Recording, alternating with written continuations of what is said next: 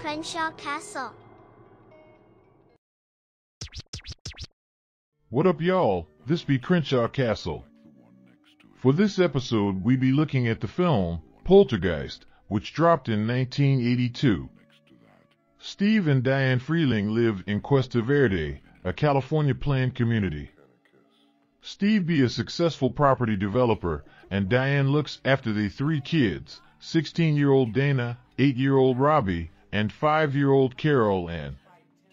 Late one night, Carol Anne inexplicably converse with the family television set whilst it displayed post-broadcast static or whatever. The next night, she again fixate on the TV, and a ghostly white hand emerged from the screen, followed by a violent earthquake. As the family wake up from the quake, Carol Anne eerily declare they hear was something. Bizarre event occur the following day. A glass of milk spontaneously break, silverware bends, and furniture move on its own. These phenomena in the beginning seem benign, but soon grow more sinister. During a severe thunderstorm, the gnarled backyard tree seemingly come alive.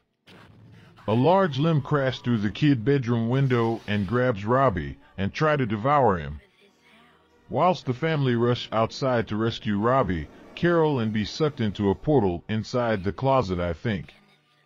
After saving Robbie from the tree that got sucked into a tornado, the family frantically search for Carol Anne only for she voice to call out from the TV. Parapsychologist Dr. Martha Lesh get there with two team people to investigate. They determine there be a poltergeist intrusion involving multiple ghosts. Meanwhile, Steve learned from his boss, Mr. Teague, that the Cuesta Verde development was built on this former cemetery and the grave were moved to a nearby spot. Dana and Rob. Yeah, anyways. We don't want to ruin the end. Buy the Blu-ray release of this flick if you're feeling real real good. And check out the next episode of Crenshaw Castle, uploaded real soon. Stay lifted.